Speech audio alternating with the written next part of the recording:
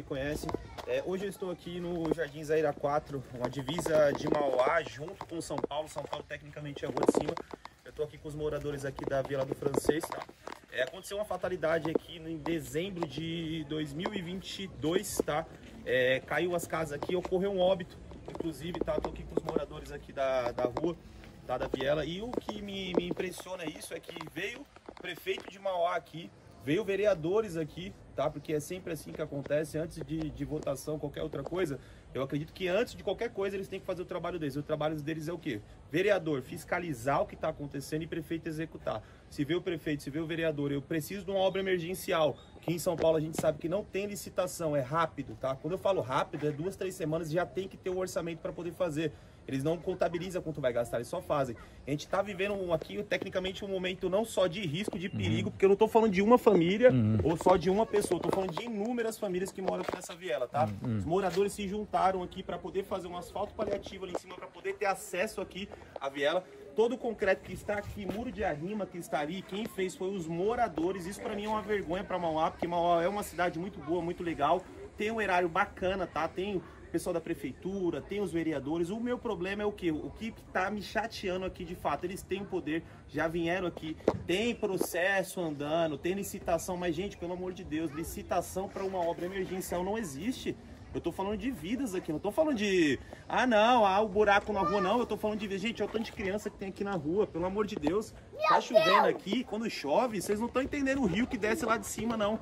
E aí ninguém se responsabiliza. Enel cobra luz, não se responsabiliza. Sabesp cobra água e esgoto, não recolhe esgoto e não se responsabiliza. Prefeitura vem aqui falar para mim que vai resolver o problema, junto os moradores, manda vir, vem vereador, vem assessor, ninguém faz nada, cara.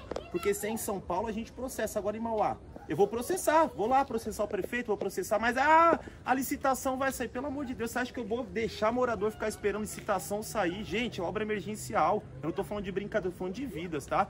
Tô aqui com o morador que pediu pra gente vir aqui fazer o vídeo, porque esse vídeo ele não é só um vídeo, ele é um ofício que vai gerar um processo, vocês podem ter certeza, porque se eles não resolver isso daqui, a gente vai processar assim, ah, mas vocês são de São Paulo, a prefeitura de São Paulo não interessa.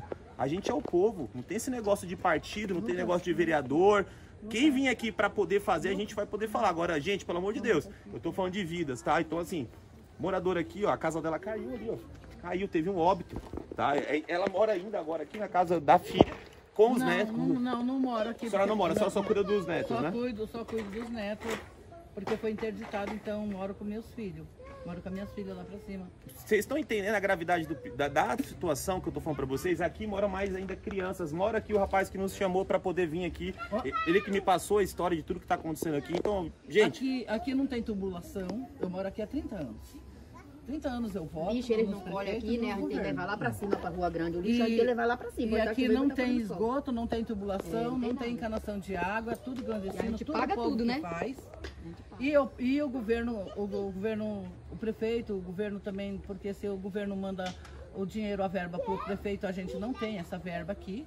O prefeito abandona, só que é o voto e não vem ajudar, não vem ajudar na estrada, o que eles fizeram para ajudar em 10 meses? Eles colocaram uma pedra ali, grande, enorme, que nem Sansão tirava do lugar. Não passa ninguém. Eu sou velha, eu sou uma pessoa idosa, eu tinha que pular por cima da pedra. Verdade. Todo dia. Esfolei tudo, meu joelho, meu traseiro ficou bem ruim, esfolou tudo também, coisa de louco. Mas agora, graças a Deus, eles tiraram essa pedra e estão fazendo a rua estão fazendo a rua. Eu estou podendo andar aqui com meus netos, que a mãe morreu, o pai tá Gente, também. só para você, difícil, só vocês entenderem, tá, o que ela tá falando muito aqui. Difícil, Essa rua aqui quem fez, quem se juntou para fazer os foi os moradores, tá? Moradores foi uma vaquinha que eles fizeram sim. coletiva para poder fazer isso. Aí eu te pergunto, gente, ó, a pergunta para a senhora aqui, Enel cobra, a Enel cobra luz aqui? E cara, a, a Sabesp cobra água aqui? Cara também. Vem uma taxa de 16 reais. Eles não colhem lixo aqui, não consertam rede de esgoto. Ó, vamos lá, só para vocês entenderem. Cobra esgoto, é. não tem uhum. esgoto. É. esgoto é a gente que Eu tô falando para vocês aqui, gente, de coisas que é o mínimo. Isso daqui é, é o mínimo, é o mínimo que eles poderiam fazer pela população que mora aqui, tá? Eles já cobram esgoto, cobram uma luz. Eu tenho um poste da Enel aqui, ó. Pô, qual que era um taxa de luz? Tem alguma luz aqui na rua? Olha aqui, mostra aqui se tem alguma luz. Como é que eu me, como é que eu cobro taxa de luz se não tem luz, não tem iluminação pública, pelo amor de Deus, gente? Então é o seguinte, é bem simples que a gente vai fazer aqui, tá? Eu vou mostrar pra vocês o que que tá acontecendo ali, qual que é os perigos que tem a, a decorrer aqui do, do processo, tá? E vou mostrar pra vocês também o que que a gente vai fazer aqui, porque eu tenho três estatais aqui, na realidade. Eu tenho Sabesp, eu tenho Enel, tá? E eu tenho, de fato, a prefeitura, que pra mim a prefeitura de Maia é uma estatal, sim. Ela recebe recurso, recebe, sim, dinheiro não só da Câmara de Mauá, mas também recebe dinheiro da União. Então eu sei o que eu tô falando pra vocês eu sei o que dá pra fazer aqui. Então o que, que a gente vai fazer aqui agora?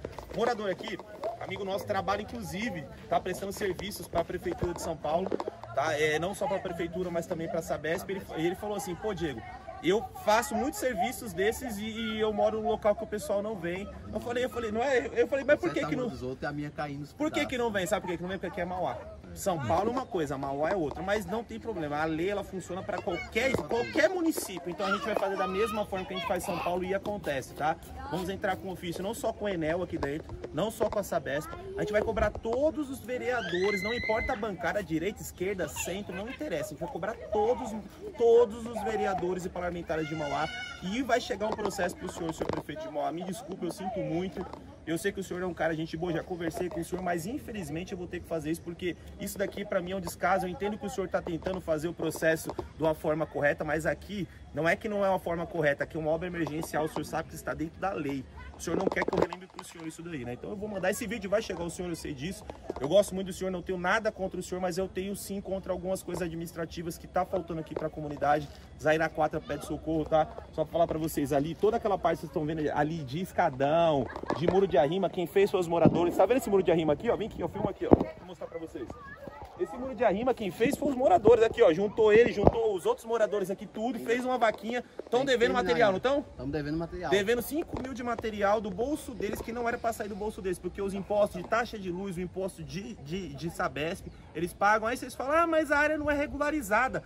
Meu amigo, tem a SEAB dentro da sua prefeitura, é só vocês regularizar e dar um carnê pro pessoal, que o pessoal paga aqui. Eles pagam, ah, mas a área é particular. Meu amigo, o dono quer receber, a prefeitura quer receber o imposto e os moradores querem a área deles. É simples assim, é muito fácil de resolver. Vocês só não resolvem porque não quer. Lá em São Paulo é diferente o assunto. Se fosse São Paulo, tava todo mundo já hum, com certeza dentro do Ministério Público, que é o que, da forma que a gente trabalha. Aqui, a gente vai agir da mesma forma que a gente age de São Paulo. Então esse vídeo hoje é 15 de novembro. Estamos fazendo hoje esse vídeo que vai ser um ofício que a gente vai encaminhar para todos os parlamentares de Mauá, tá? E de verdade, vou falar para vocês, vou conversar sim com o diretor da Sabesp, porque ele é nosso amigo, vou falar com ele sim, para a gente ver o que, que a gente consegue fazer aqui de fato, se ele consegue dar uma ajuda pra gente. Vamos mandar sim um ofício para a Enel, para eles poderem ver o que está acontecendo aqui, se eles também podem ajudar os moradores, mas aqui a responsabilidade é da prefeitura. E a gente vai cobrar, a gente vai estar tá em cima, porque isso daqui não é dignidade. O pessoal que está aqui é tudo trabalhador. A gente não tem ninguém aqui está pedindo nada de graça. Eles querem que regularize e ajude a comunidade a passar aqui. O morador aqui ficou mais de um ano e meio pagando garagem porque o carro dele não descia aqui. Por quê? Desmoronou aqui, Ninguém fez nada, veio o prefeito, veio o vereador, veio todo mundo aqui, ninguém fez nada. O que, que aconteceu? Ninguém conseguia passar aqui. Se não fosse eles para colocar aqui um, um, concreto, fazer aqui um muro, um muro de arrima. Os caras fizeram um muro de arrima, gente. Pelo amor de Deus, cara. Fizeram. Eles fizeram do bolso deles. Aí você acha que isso é certo? Com a taxa de imposto está sendo cobrada com tudo que vocês fazem hoje. Pô, pelo amor de Deus, coloca a mão na cabeça, prefeito.